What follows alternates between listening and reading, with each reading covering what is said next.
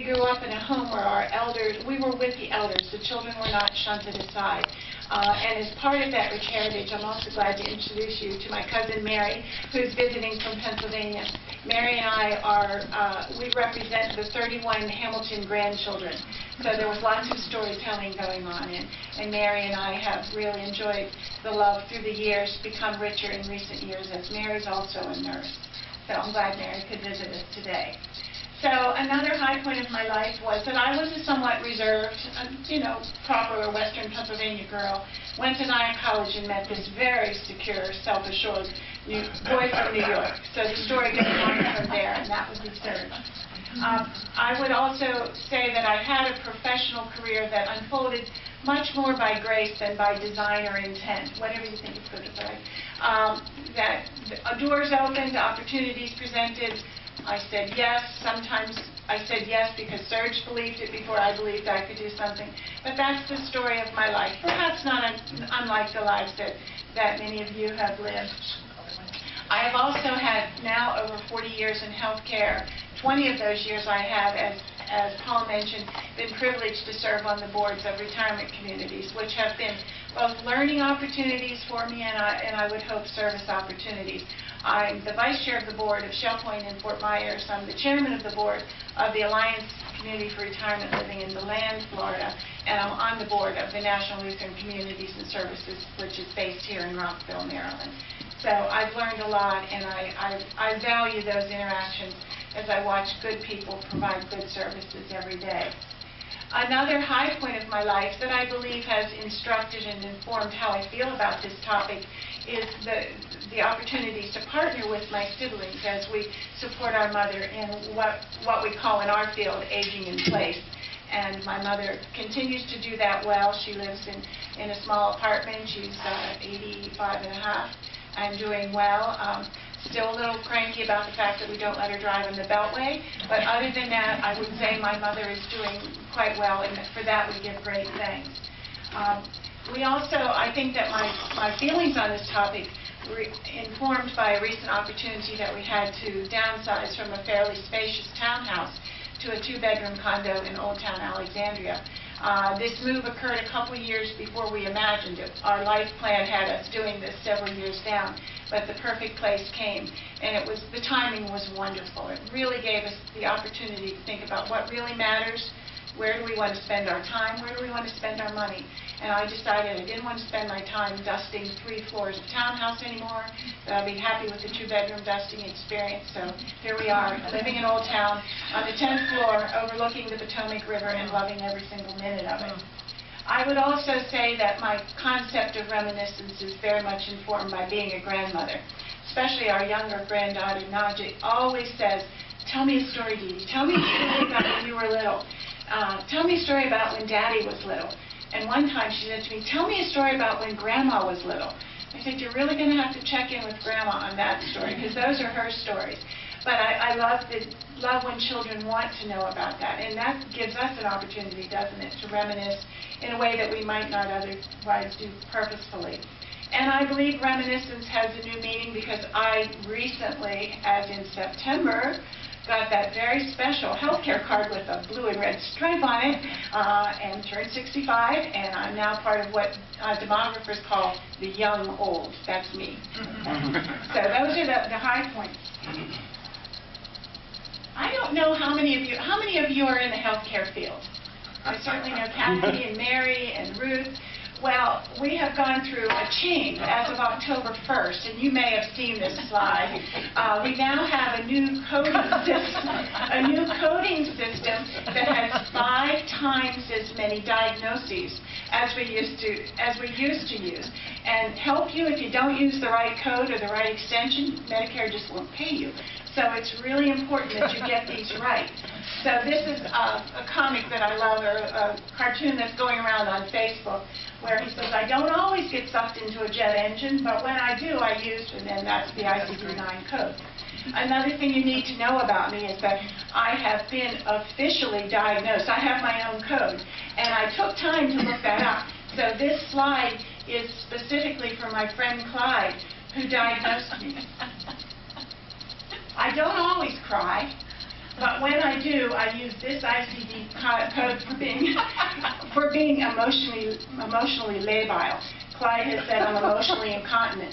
And it's good for you to know that on the front end, because, because that is both my strength and my weakness. I do get tearful. I, I don't cry at supermarket openings, but when, I, apparently, apparently there is a very short synapse between my heart and my tear ducts. And you should know that on the front end, because some of what I share with you may cause me to be tearful. I'll be fine, I'll recover, I have a handkerchief in my purse, so, so here you go. I have my own ICD. So what is reminiscence? Because I do a lot of teaching and speaking, uh, we always want to start out with some, de- uh, some definitions. I don't think we need to spend a lot of time on this, but recognizing it- it's an act or a process of recalling past events. Sometimes our reminiscence is an image. Uh, Sometimes it's a narration, it's it's a talking it through. So does this definition work for us for our purposes this morning? Reminiscence? Good. Um, I won't turn this into, you know, psychology 101, but I believe that Erikson has it pretty well, well spelled out when we talk about the stages of life. The first being uh, trust versus mistrust, and the goal always being these, these things that I've listed for you in red. I would also say, if any of these slides are of even marginal interest to you, I will send you the whole PowerPoint, what you want with it. So for that reason, I'm not going to read every slide to you. But I wanted you to know that the thoughts I'm sharing with you from my professional field are scientifically grounded. It's not just that I'm a nurse and I love people and how fun is that. It's that what we do and how we do it uh, is, is scientifically rooted and grounded. And, and Erikson provides some of that. Uh, and these would be the last, uh, the last four of the eight stages. And most of us, I would say, maybe Brian, or being a little bit before this, are at the, at the last two stages where we talk about generativity and in, integrity. And generativity being that stage of life where you begin to process what has happened in my life that needs to be given away. When we do this in the professional field, we talk about redundancy. We talk about succession, succession planning. Who is coming to, to replace the work that we did? And then the final stage under the model of Erikson is the integrity versus despair. And really the choices are between making it make some kind of sense, even if it doesn't make perfect sense, making the whole of our life come together in a way that, that saves us from despair. And for any of us who've worked with seniors, we've probably met and experienced those folks who cannot bring the integrity together in their life. So this is one way to look at it. And then this is just another, another slide capturing all of that, which you may not be able to see very well back there, but I think, I think it, it lays it out in a good, a good format for us. Another theorist is Maslow, who talks about our hierarchy of needs, how we begin with our physiological needs and think about a baby, all the things that we do for that newborn, and then safety and love and belonging, and going on up to the stage that we call self-transcendence. Uh, Whoops, I'm sorry, up. Sorry about that, just showed you all my good stuff. Don't worry, I don't have any sunsets. Sorry about that, that was... You're done. Huh? You're done. I'm done.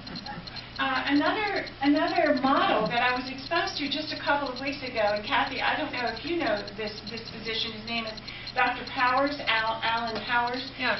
Uh, Two weeks ago, I uh, went to a wonderful conference in Boston. Over 8,000 providers of senior services, it's LeadingAge, which is the national association rep- representing those of us who provide these services in the not-for-profit sector, and he was one of the presenters. And I was attracted to go to his session because he was addressing enhancing the well-being of of patients or residents with dementia. And dementia is a particular interest and topic that I address in my work. So this was just a model that he provided to help us think through what are the needs of that cognitively impaired resident or, or patient.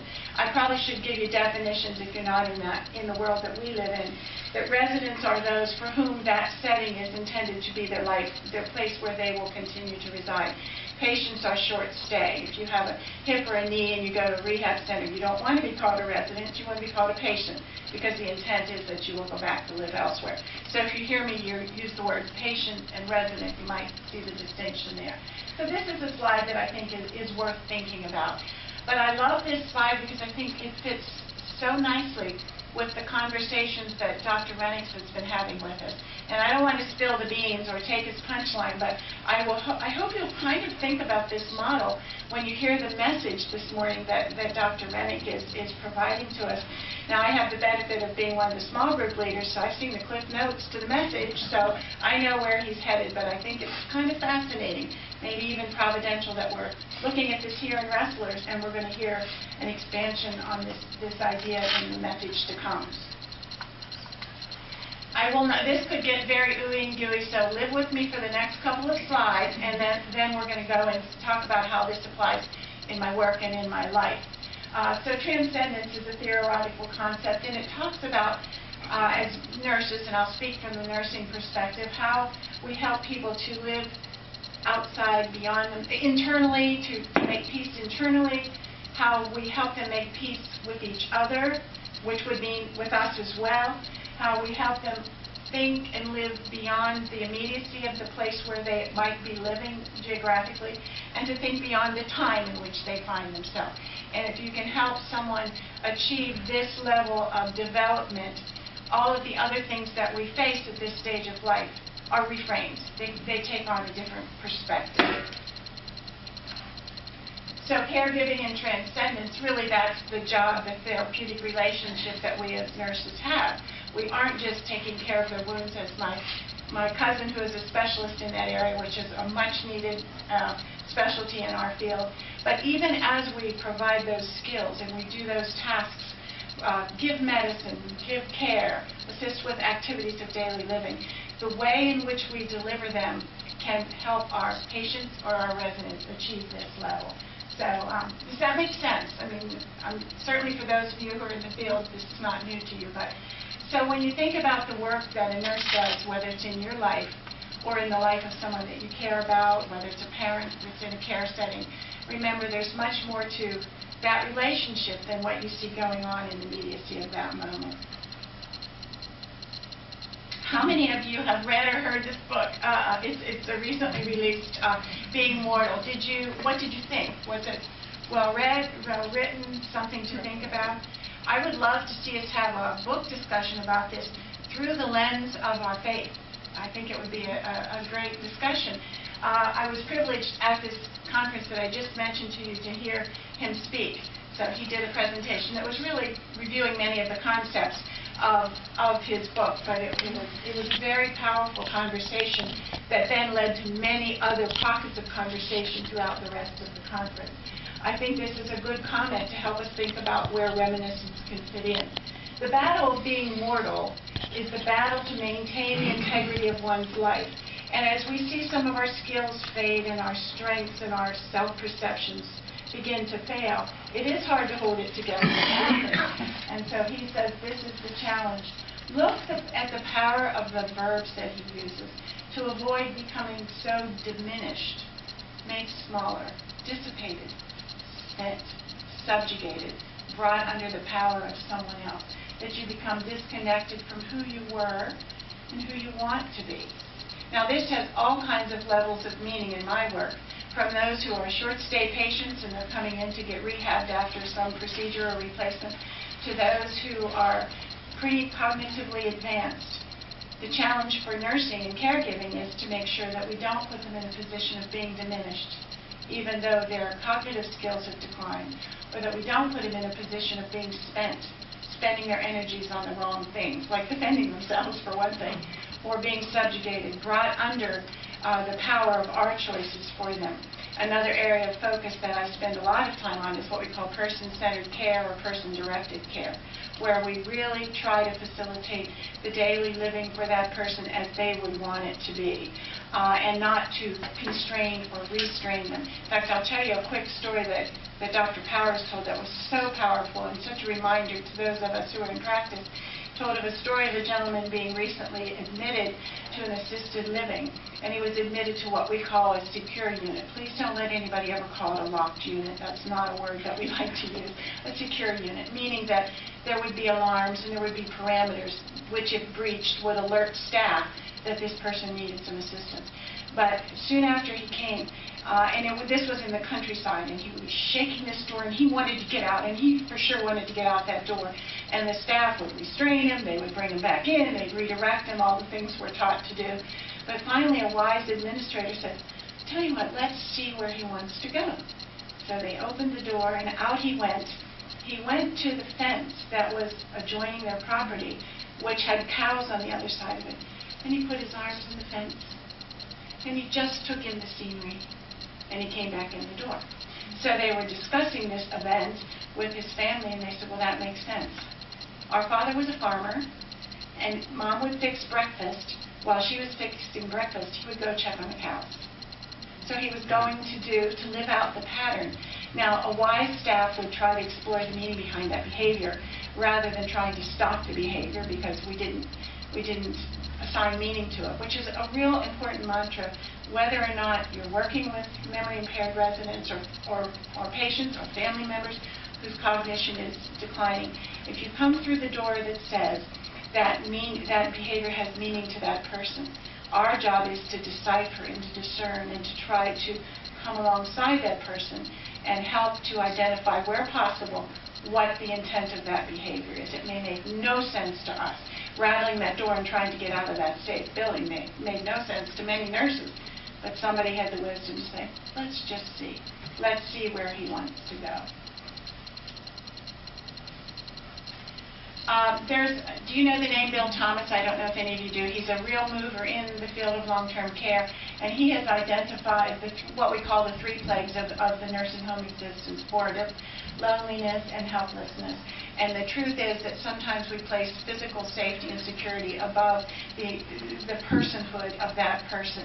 And sometimes taking a risk to be a little less safe uh, is worth the risk, if I can say that. We've figured that that that out because we now don't tie people down.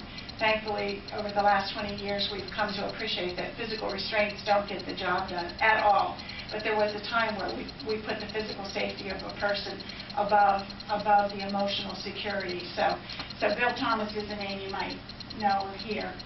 Uh, So ways that we reduce boredom and the benefit of boredom, I don't think I'll dwell on these slides because I want to get on and talk, but um, there are ways that we can use reminiscence to reduce boredom, to pick up the threads of conversation that even the most cognitively impaired resident might offer and follow that thread to see where that thread might lead us in the life of that person. And then teaching, sometimes if you're working with a resident who has cognitive impairment, by reminiscing with them about some part of their life would help to reteach them about something that was a skill that they had before, and we can help them retrieve that skill by allowing them to reminisce uh, some part of their life. This, okay, this is when my ICD-10 will kick in, so fair warning if you need to leave now because a crying speaker upset you. See ya. Um, this is a project that I first saw in a Kendal facility up in Pennsylvania. And on this wall, the, the they had had the residents as an activity outline their hands. And so all of these hands were just pictured on the wall or, or posted on the wall. They were beautifully done. They were in frames. They were very artistically done. And attached to each of these was a story. And the reminiscence exercise that they did with these folks was to say, tell me the story of your life through your hands. And so these would be some stories that our hands would tell. These hands have milked cows and pitched hay and made sheaves of wheat and picked berries and peaches and plums to can. These hands have cared for two sets of twins, there's more story here, sewn and mended clothes, ironed and done laundry. These hands have helped to birth over a hundred lambs. These hands have kneaded over a thousand loaves of bread. These hands have wiped tears from the faces of my own dozen children. This was in a Mennonite community, that, so you can imagine that. I loved this idea. I thought it gave a vehicle for conversation to allow people to express things that they might not feel so comfortable expressing if you just said, tell me about your life. Uh, so telling it through the image of your hands. And you might just stop for a minute and say, what have my hands, you know, where have my hands been that, that can tell a different story than I might have imagined. So I took this idea to a family reunion. Unfortunately, Mary was not there that year. The Hamiltons continue to have big family reunions. And so I took photos of everybody's hands that was willing to play, and I gave them all cards, five by eight cards, and I said, say what you'd like to say about your hands. My mother is the one who wrote the first two sentences.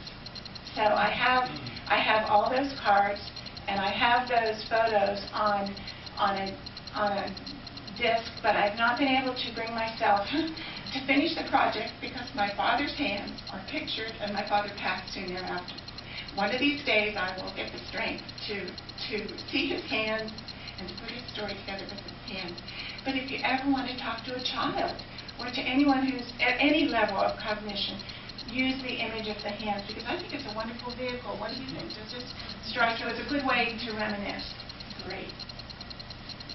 Uh, reminiscence can also be part of preparing someone for end of life. I mean, this is the reality. Those of us who live in the context of faith, hopefully we can approach this differently. Uh, I think about the ministry of our Stevens ministers and our elders and our deacons and our pastors. Sometimes going to someone's home or sitting with someone and saying, tell me about your life, you know, helping them to assign meaning to what may feel like disparate kinds of activities it is not uncommon in my work that we see people holding on to life far beyond what would seem normal. And it, we say it, we can't believe they're still alive, they're still, still with us. And sometimes that has to do with unresolved work. I had, when I was the director of nursing at Thomas House here in Washington, I was called in on a Sunday afternoon by a daughter and I dashed in, and, and I remember how quickly I went in because I went to work in jeans. I never go to work in jeans, just saying. Uh, so I got there, and she said, I wanted to tell you that my brother arrived, and we have reconciled.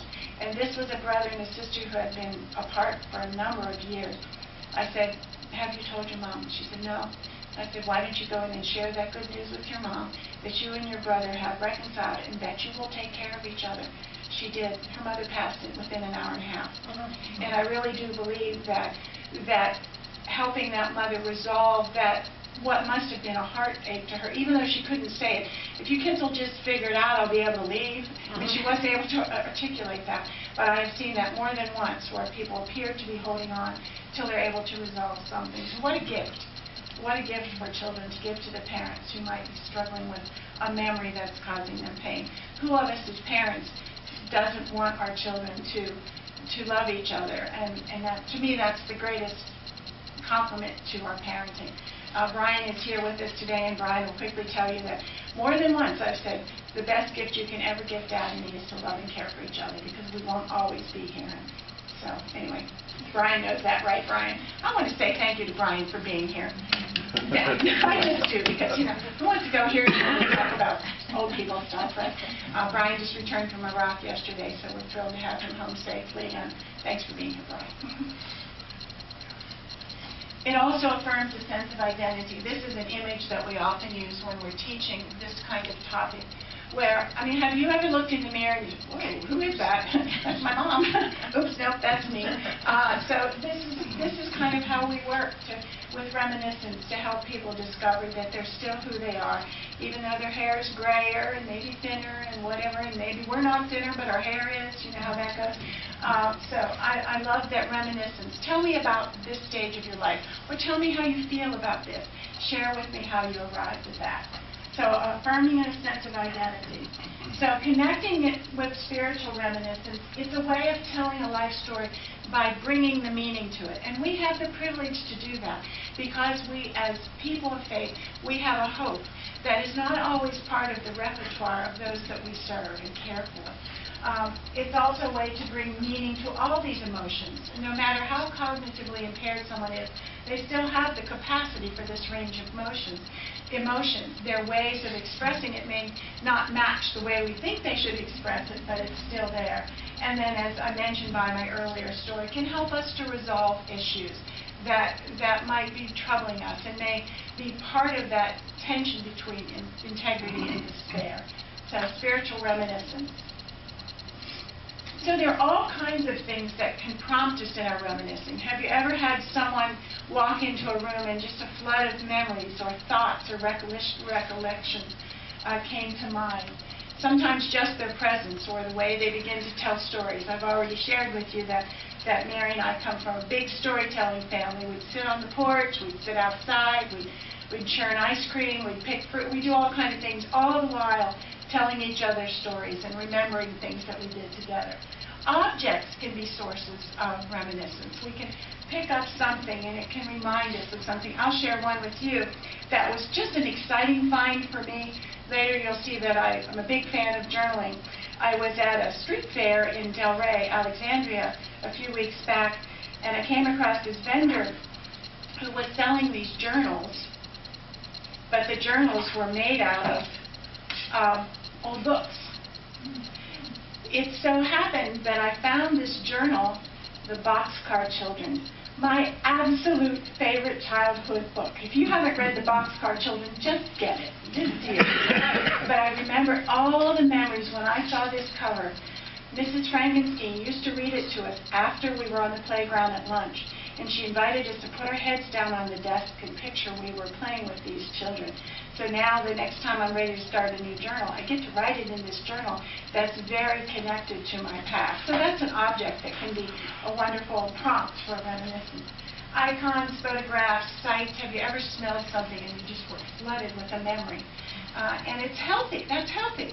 This is the way we connect things. And I would say music. And music, yeah, absolutely. song, Songs, absolutely, absolutely. Poetry.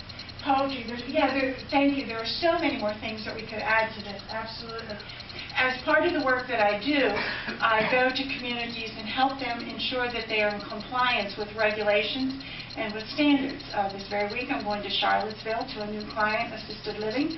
One of the standards that I will be seeing if they're in compliance with is a standard that we have that says that their activities must cover all these domains, physical, social, cognitive, intellectual, productive, sensory, reflective, outdoor, and natural world activities. You can see how you can take every one of those domains and wed it to the concept of reminiscence, right?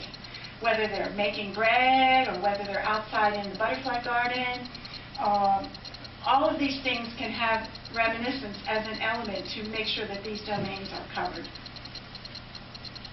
So I'm going to speed through a couple of slides and just share with you some of the objects and the intersects for reminiscence in my life. Would that be okay with you? I'll go real fast through these, but, but I think it'll show you that you too have the opportunities to do this. This slide was actually prompted by uh, one of the children's servant, uh, sermons that Dr. Renwick did a few weeks ago. Remember he had a basket and he reached in and brought out the Bibles that were written in the different languages to show the children that God's Word has universality to it. And so I thought, you know what? My Bibles, the collection of Bibles that I have, have been very, very meaningful in my life. So I went, and actually some of them were in storage. We went to storage, and I brought them out, and, and I just pondered, what's the role of every one of these Bibles in my life? And there are just a few of them. Uh, the one that you see up in the top is the one that I use when I travel. It's quite worn, but I want to read to you because this one is meaningful to me. This is the New International Inclusive Version, and it's 1997, and it says, Serge saw to it that this version was avail available to me from UK while still banned in the USA. so that's, that's my international inclusive. I'm glad to tell you you can now get it in the United States.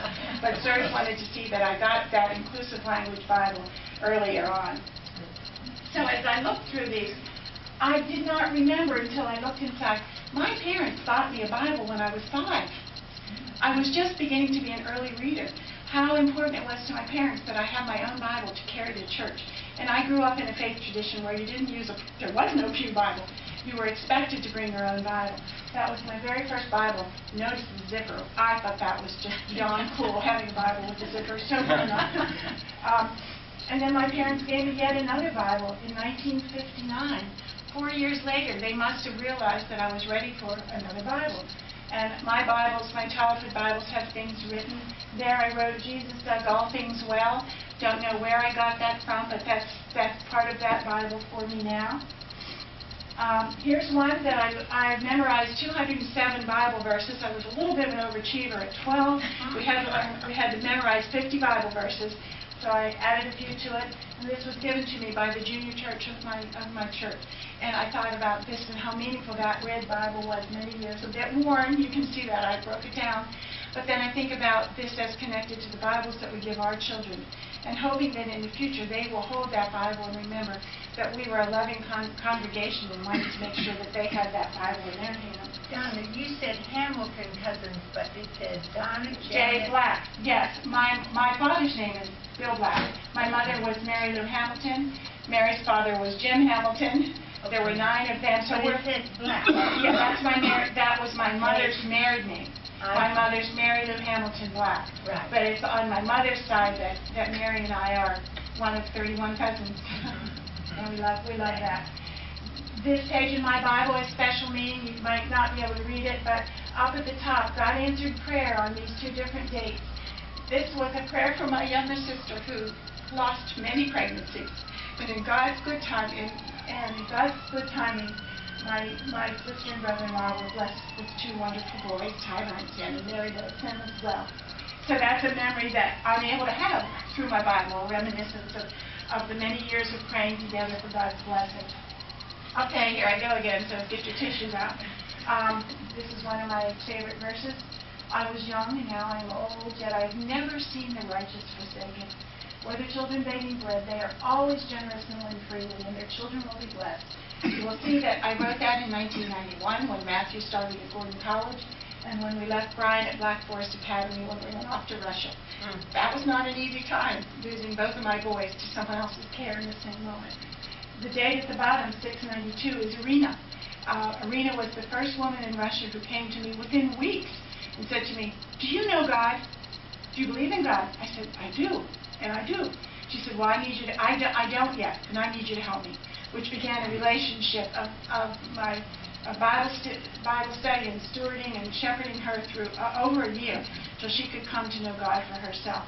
And that was in answer to prayer uh, for me, where I'd ask God to, would He specifically allow me to lead three people to Christ? And that's how many I led to Christ in Russia. I should have asked for more, I know. Where was my faith? But Irina was, was one of those. So that's a wonderful memory of how God answered that prayer. And this is that leadership Bible what- that was given to us when we agreed to be mentors through the National Leadership Program, so that's very meaningful. I want to recommend to you a, a system that, if you don't have a prayer model that works for you, this is one that has served me very well for many years. Uh, I don't know if any of you know the name Armin Gesswein. In the church that I grew up in, he did a lot of speaking and teaching on the topic of prayer, the power of prayer, the discipline of prayer. So he had introduced us to this system where you just use five by eight cards. On the right-hand column is what you're praying for on a daily basis. What are you committed to praying for every day? And then Monday, Tuesday, Wednesday, Thursday, Friday, Saturday. Now, at, at the risk of embarrassing some of you, the Taylors get, get prayed for on Tuesdays. That's just their day. But you also see that Ginny and I have a particular prayer commitment. So Ginny gets prayed for on a daily basis. And John, I'm sorry to embarrass you, but you'll see that Laura Treadway is on my daily prayer list and has been since, since Laura was ill. Um, I want to tell you that this works. It keeps us focused. It keeps us immensely grateful. There's a couple on here that you don't know, but I will tell you their story. Tim and Gretchen had been married for 30, over 30 years, and their marriage was, for all intents and purposes, ended. She left, it was irreconcilable. Just this week, and these are friends that I know through Chaplain, just this week, we got an email as board members that it was a miraculous gift of God, that they had gone away for some time together and were reconciled. So if you're, if you're praying hard and long and many years for something, do not give up. But what I have here are many years of these cards, and I used to throw them away, but then I thought, well, I'm not going to do that because on the back of these cards, I have verses that has been very, very meaningful to me. So if you don't have a model that works for you, may I just recommend this one to you? On the back of it, at the bottom, you can see uh, some of these verses. They have no rhyme or reason, they're just the verses that come to me as I'm praying. Journals. I won't bore you with all my journals, but that's some of them. I've kept journals for many years. Uh, and some are fancy. Uh, the one, Anna knows I'm a journaler, so she made me the one on the left. My friend in London gave me the one on the right. Doesn't matter, as long as it's yours. As I said, some have gilded edges, some are just very plain, basic journals. And then I told you the story about the boxcar children. There is something about reading your own handwriting and experiencing God's work in your life over time that to me is very powerful. So this is just what it looks like if I were to open them all. That's the only time I did that was for the photograph. I, wrote. I don't sit around admiring my journals. I added this one recently because I thought hymns, and, and you mentioned this, Anne, music can be so powerful. You know, we can play a song. I had a, uh, a resident at Thomas House who had not articulated in two years. I was sitting at the piano playing a hymn and she began to sing. Words came out of her mouth from who knows where. So music, never disparage. And I love to just look through music. The one in the front is the Ukrainian hymnal. That was a baptism by fire, don't you think? When I was brought up front in the Ukrainian service to play the piano, I don't speak Ukrainian. So Serge is sitting there whispering in my ear what I'm supposed to do, what verse, slow down, speed up. But so that's our Ukrainian hymnal right there. uh, objects. We can have things in our life that just bring back memories. This is me and my new bike. I love my new tiny bicycle down there in the corner. And that's important to me because it's part of how I want to stay healthy, but because we were, when we were little children, we did not have, we had one 20-inch bicycle to share between us. We lived in the country and our driveway was gravel. So we didn't have places to go riding around town as you would if you lived in town. But then I thought, I love the one up in the top because at Shell Point, where I'm on the board, we have that kind of a bicycle with the wheelchair attachment to the front. Can you imagine if you used to bicycle all over town but you'd lost the ability to do that, how fun it would be to be riding along and feel the wind and just have that experience of being on a bicycle? Well, if you have that, that kind of bicycle attachment, you could do that. So that object, can you imagine, um, this is just a, a sample, but all the thoughts that would go rushing through someone's mind as the wind blows past. Okay, spoons. My granddaughter loves my spoon collection. She's Montessori, so she categorizes them by color, location, alphabetical. So spoons, but while she's playing with them, she'll say, Dee, tell me about this spoon. Where did this spoon come from? And, and every spoon can come with a whole story. So uh, I never set out to collect spoons. Someone decided it was a good gift to bring me and easy to pack when you're traveling. So hence all the spoons that become storytelling objects. Art. This is a, a photo, art and photograph. You can do this in your own house. There's nothing magical about mine. And I use the word art very loosely because we don't have extensive art, but we have meaningful art. So this is my father's homestead. This is the black homestead that was right next door to the house that I grew up. That house has been since torn down. But I mean, it's a whole part of my childhood. So having that hanging in my bedroom is, is very meaningful. The top one is uh, Old Main at Nyack College, where Serge and I first met, and where we had many dates. The one below is Würzburg, where Serge was born. So every one of these can trigger a memory for someone. Some of our collection from when we were in Russia, a boutique that we got early. The one on the right is one that I love because there was a movie that came out called Redemption when we were in Moscow, and one of the lines from that movie is, what good is a road if it doesn't lead to the church? In response to a question. So that reminds me of that one. Um, the one at the top is, was a gift from a friend in the Philippines. The one below is the Charles Bridge in Prague, which just is surrounded with all kinds of great memories. This is called Ode to Cologne. If you were to turn it on its side, it's a music score. Mm-hmm. So I love that one. right, hanging right there next to Serge's dusty cello. Any day now, Serge's nice cello. Sorry about that, Serge. Please. Ah, I just picked it up. Did. but you know, the verse that I had had us consider earlier is because knowing that God has a plan for our life, I picture that as the vessel that can safely hold our reminiscence, right? Knowing that we're boundary, all of our memories, all of our experiences are bound, boundaried by this reality. This was God's promise to me when I had cancer. Even to your old age and gray hairs, I am He. I am He who will sustain you. I have made you and I will carry you. I will sustain you and I will rescue you. And that's straight off one of my cards because that was what God knew I needed to get through that cancer experience. Another promise that I love is from this, from Psalm 37 with these active words. Spend time with this. It can bring lots of reminiscing of when you had to trust, when you had to dwell, when you got to enjoy safe pasture, when you delighted, and, and the desires of your heart that could follow from these kinds of practices. It's easy to talk about reminiscence, isn't it? But we, we don't live in an era that prompts us to take the time. You know, we have technology, we panic if we leave our phone at home, or goodness, if it discharges early, we're in trouble. And, and it's unfortunate sometimes, I think, for me, I'll speak for myself, that all of that technology robs me of the time. Just, you know, Facebook and all those things that have very good aspects to them can rob us. But I love to be reminded, be still and know that I'm God. Be still before the Lord and wait patiently. Uh, wait for the Lord. Be strong and take heart and wait for the Lord. These, I think, set us up to benefit from our reminiscence.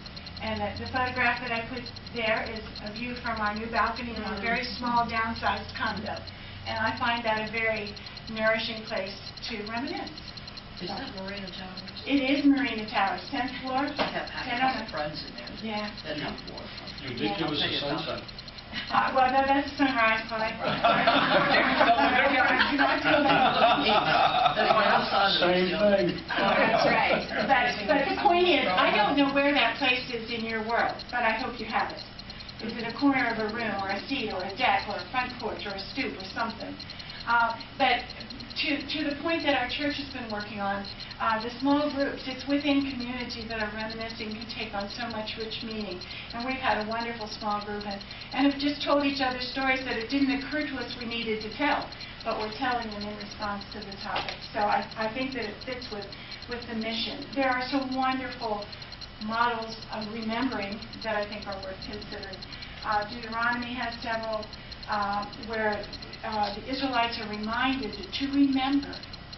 Even when we take communion, that's an exercise in reminiscing, uh, an exercise in remembering. These are some thoughts to ponder from, from a, a sociologist.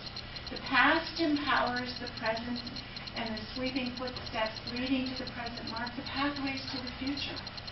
Wherever a story comes from, whether it is a familiar myth or a private memory, the retelling, retelling exemplifies the making of a connection. Uh, I think this is worth chewing on in, in our private moments. So here would be what I would consider to be thoughts for. How does reminiscence complement and support our spiritual disciplines? What is the role of the church, and we being part of the church, capital C, in inspiring and supporting reminiscence? How might Sabbath observances support spiritual um, remembering? I, I'm sure this is a bit of personal disclosure that I've been really doing some study on the concept of day of rest and Sabbath uh, to challenge myself. It's very easy when you work as many hours as many of us work. Uh, Sunday becomes a crash day, but I don't know that that's exactly the best use of that day, just to fill up with all the things we didn't get done on the other day. So being intentional about space, providing space for the reminiscence. Uh, so we're back to that model that I showed you from Dr. Powers. So how does spiritual reminiscence relate to all of these elements within the well, what we call the well-being pyramid? Identity. We have our identity in Christ, and part of that is the identity within community and connectedness and the security. I mean, we have relationships when we can remember things safely together, not always pleasant things. And not all of our memories are rosy and glorious. Sometimes they're full of mistakes and regrets, but they still are instructive.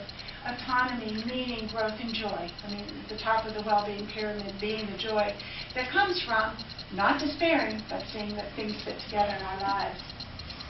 I love this verse, um, let the peace of Christ rule in our hearts. I think this is just fraught with opportunities for remembering and being grateful, almost as if they should always travel together. What a great passage as we enter this season of Thanksgiving. I hope that it's true for you. And this is my last slide, and this is the sunrise slide, in case you're wondering. I caught Nadia, our granddaughter, in really a moment of reverie. She was standing one day when she was staying overnight, and, and as I thought about the thought I wanted to leave you with, Lord, you have been our dwelling place throughout all generations. Before the mountains were born, or you brought forth the earth and the world from everlasting to everlasting, you are God. Is that the message that I convey to my grandchildren as together we reminisce? I would hope so. I was just remembering that the last time I spoke to you was on the topic, topic of the grandparents' influence in my life, and I had just become a new grandmother. That little one that prompted that invitation turns 12 today. So those years pass so quickly, and do we utilize our reminiscence for our own spiritual growth, but also to benefit our families? So thank you for allowing me to share just a little slice of God's work in my world. And if you have questions or thoughts or reflections or rebuttals, I'm fine with those. And this is Washington, time for rebuttal.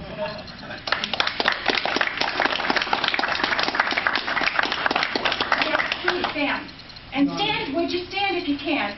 Because I think it's important to share the conversation. I'm standing, okay. Uh, Thanks, Laura, that was beautifully done.